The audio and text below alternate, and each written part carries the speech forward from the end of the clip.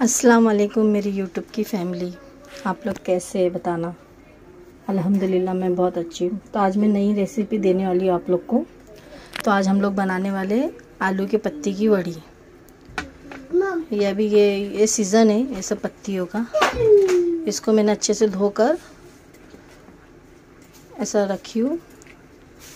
छोटे पत्ते, ज़्यादा बड़े बड़े पत्ते नहीं। हाँ नाविया रुक जा। गिरा देगी इधर सामान। ये वड़ी बनाएँगे हम लोग। और ये आधा किलो आटा है, चने का आटा। और इसको हम लोग अभी ये सब मसाला डाल के बैटर रेडी करेंगे, जो वड़ी में लगाने के रहेंगे, पत्ते में लगाने के रहेंगे वड़ी के लिए। तो ये मसाला है हमारा। ये घाटी मसाला है, गरम मसाला है धनिया की बुक्की हल्दी है, नमक है, और पीसी हुई हरी मिर्ची है।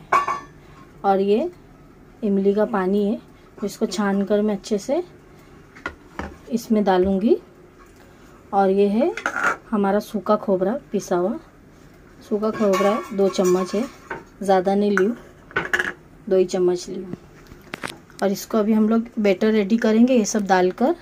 फिर उसके बाद में बताती हूँ बैटर डालने के बाद में, और इसे सब करने के बाद में मैं सबसे पहले जाएगा ये सब मसाले जो हमने निकाल के रखे इसके अंदर।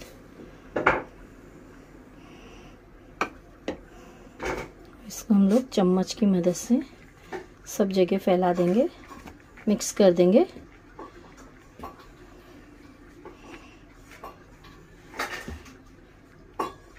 अच्छे से मिक्स करेंगे। फिर बाद में अपने हिसाब से पानी ज़्यादा घट भी नहीं रखेंगे हम लोग और ज़्यादा पतला भी नहीं करेंगे नॉर्मल रखेंगे। ये थोड़ा थोड़ा पानी डालकर हम लोग मिक्स कर रहे हैं। और इसके साथ ही में हम लोग खोबरा भी डाल देंगे। पिसा हुआ खोबरा है। ये एक हाथ से बहुत मुश्किल है बड़ी बताना, बनाकर। फिर मैं कोशिश करूँगी कि बनाऊँ। पानी जाएगा हमारा।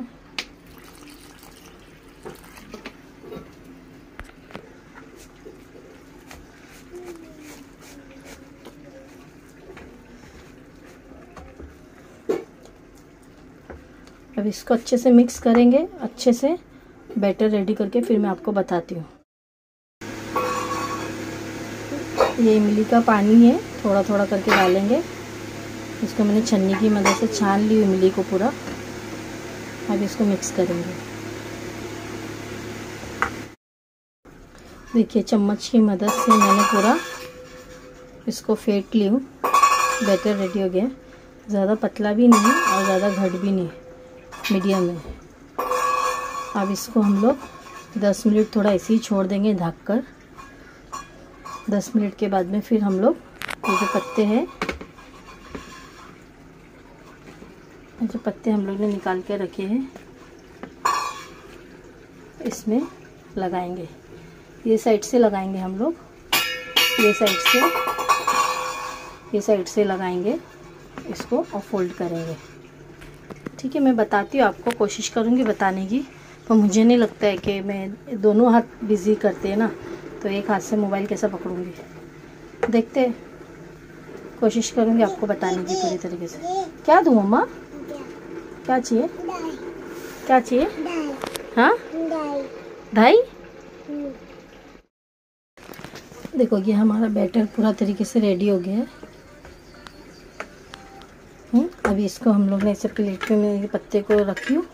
अब इस पे हम लोग थोड़ा थोड़ा करके ऐसा डालने की कोशिश करेंगे। मैं एक एक बता दूँगी आपको, फिर उसके बाद में, पूरा होने के बाद में बताऊँगी आपको। क्योंकि एक हाथ से मोबाइल पकड़ी हूँ तो बहुत मुश्किल होता है। ऐसा ऐसा करना है। अगर ये चम हाँ मोबाइल पकड़ने का नहीं रहता ना तो मैं हाथ से ही करी होती है पूरा।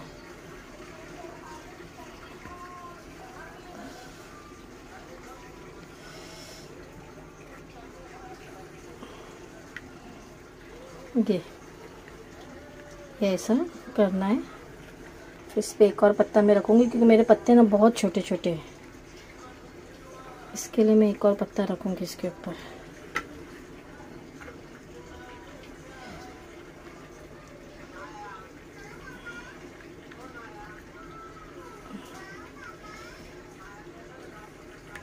ये ऐसा करना है। फिर इसके बाद में फोल्ड करना है इधर से।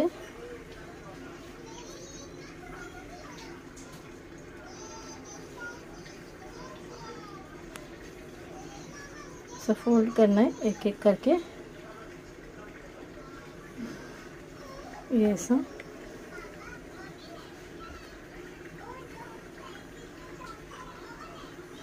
ऐसा फोल्ड करके फिर इसके ऊपर से थोड़ा सा बेसन का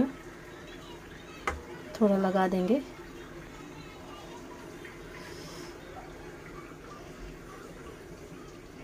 जैसा रेडी करेंगे हम लोग। और इधर एक साइड में रखेंगे। क्या हुआ नाविया चाय? चाय पीती तू कभी? फिर वैसे ही हम लोग एक एक करके बनाएँगे। फिर मैं आपको बताती हूँ पूरा होने के बाद में।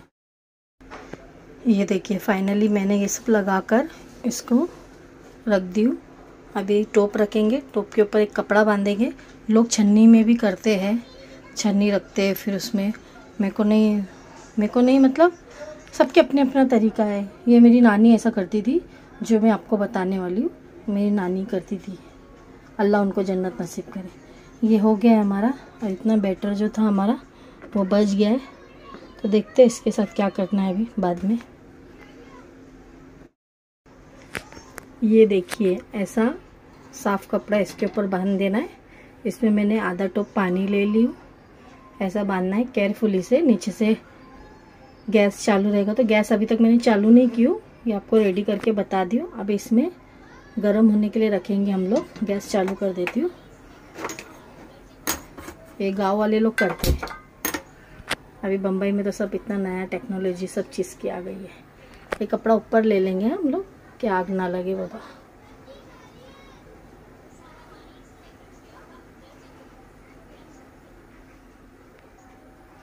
ये देखिए, कहीं से भी ऐसा लगेगा नहीं आपको गैस भी हमारा चाल तो ये पानी गर्म होने देंगे, फिर इसमें एक एक करके, ये जो हमने बना के रखे एक एक करके इसमें डालेंगे। ऐसा एक एक करके इधर बिछाएँगे। ओके बिछाने के बाद आपको बताती हूँ। ये देखिए, मैंने ऐसा रख दी हूँ इसके ऊपर। है ना? अच्छा लग रहा है ना? गाउटी स्टाइल।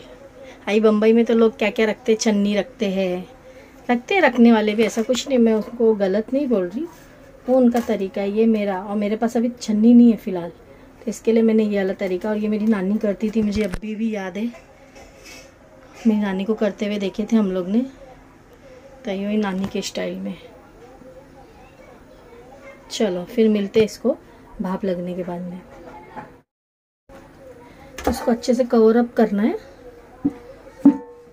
ये ऐसे हमारा कवर अप हो गया है। ये भाप में पकेगी। ये देखो, मैंने ढक्कन हटा दी। ये ऐसा हुआ है। अब इसको हम छुरी मार के देखेंगे पका है कि नहीं पका है पक गया है।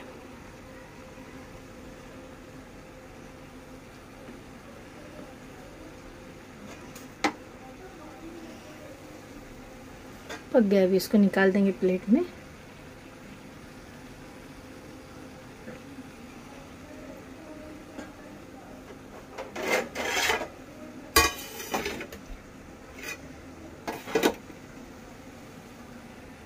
करके निकालेंगे, आराम से, गर्म है बहुत। अब ऐसे एक एक करके निकाल देंगे।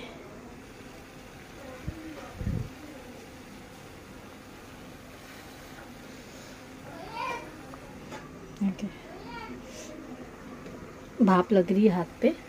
मैं बताती हूँ आपको पूरा निकाल कर। ये देखिए, ऐसा मैंने निकाल दी ठंडा हो जाएगा थोड़ा। थोड़ा गर्म है भी।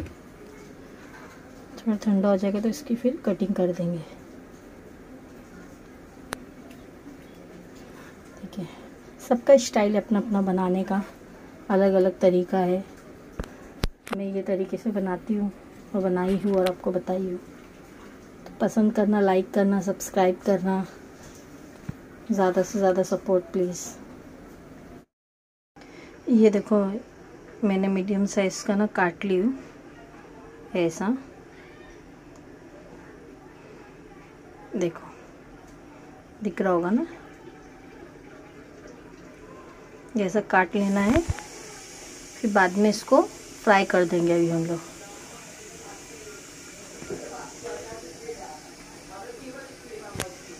बताना रेसिपी सब मेरी कैसी लगती है आप लोग को? ये मैंने कढ़ाई में तेल रख दी हूँ। अब ये कढ़ाई में हम लोग, ये जो काट के रखी थी मैंने, इसको फ्राई करेंगे। बताती हूँ आप लोग को कैसे फ्राई करते हैं।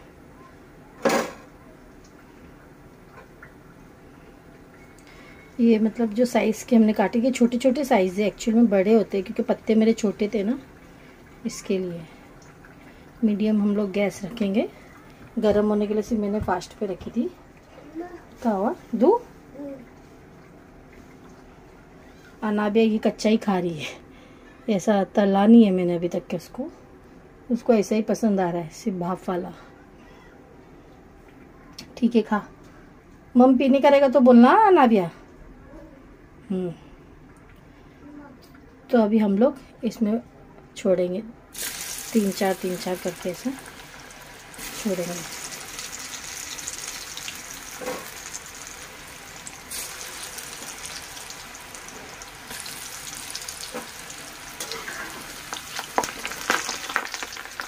आराम से करना। ये जो है है ना फड़ फड़ फड़ उड़ता है।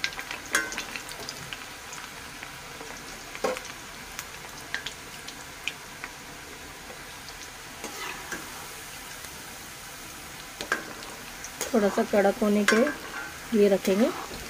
हो जाएगा, उसके बाद में हम लोग इसको निकालेंगे। ऐसा ही करना है, ज़्यादा भी पकाना नहीं है। ऑलरेडी ये पक चुका है फिर इसको डीप फ्राई करना है बस।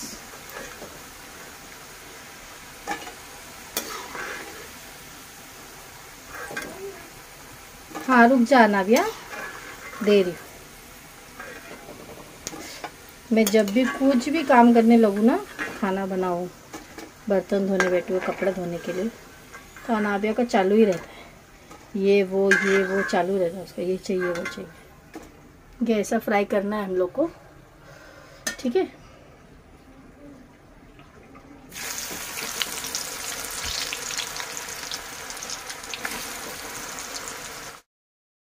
ये देखिए, अभी ये हमारा ऐसा रेडी हो गया, फ्राई करके निकाल दियो मैंने। अभी इसको बगाड़ दे देंगे हम लोग। जो तेल था ना, जिसमें फ्राई की थी, उसमें से ही थोड़ा तेल निकाली और अभी इसमें बगाड़ दे देंगे। ये लहसुन है, लहसुन और ज़ीरा का। तो इससे क्या टेस्ट आएगा थोड़ा उसमें?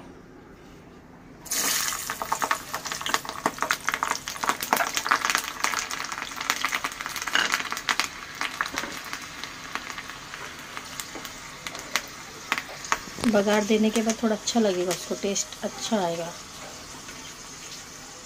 सब सब लोग का अलग होगा। मैं थोड़ा अलग तरीके से बनाई हूँ। सब लोग ऐसे ही वो उबाल, ये शायद मेरे ख्याल से स्टीम करने के बाद में डायरेक्ट बघार देते होंगे। करते लोग कुछ कुछ कैसे भी। ये छोटे बच्चे लोग भी अच्छे से खा सकते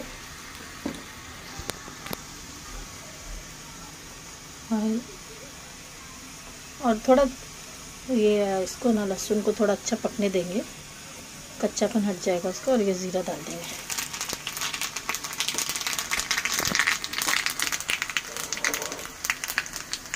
ये डालने के बाद में इसमें हम लोग ऐसे बघार छोड़ेंगे।